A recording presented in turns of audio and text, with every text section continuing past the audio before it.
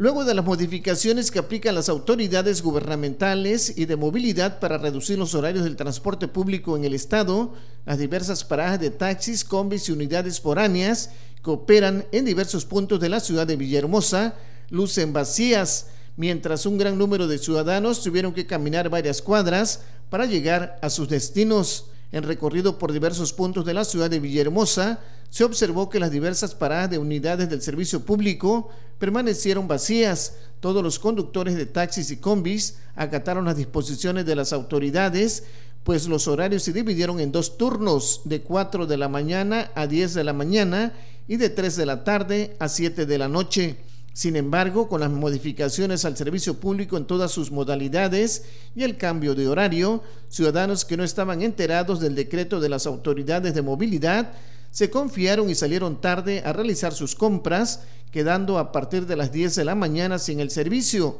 por lo que tuvieron que caminar varias cuadras y kilómetros para llegar a su destino. Esta situación provocó enojo entre ciudadanos que se dijeron sorprendidos por las disposiciones de las autoridades de suspender el transporte público a partir de las 10 de la mañana y reanudar a partir de las 3 de la tarde hasta las 7 de la noche. Ante las nuevas disposiciones en la movilidad, se exhorta a los ciudadanos a tomar sus previsiones para que no queden varados por la falta de transporte en los horarios establecidos. Con imágenes de Raúl Espinosa, Marcelino Ramos, Noticias TVT.